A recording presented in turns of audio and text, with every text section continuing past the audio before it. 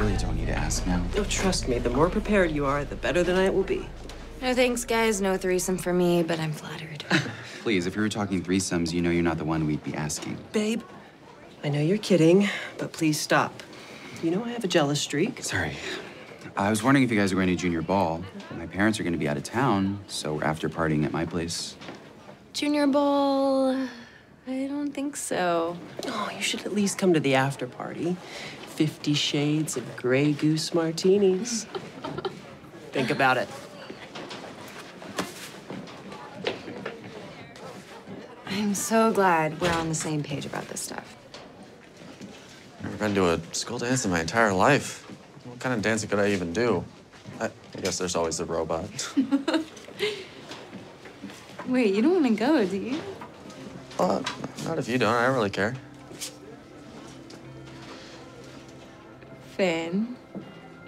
What? will you go to junior ball with me?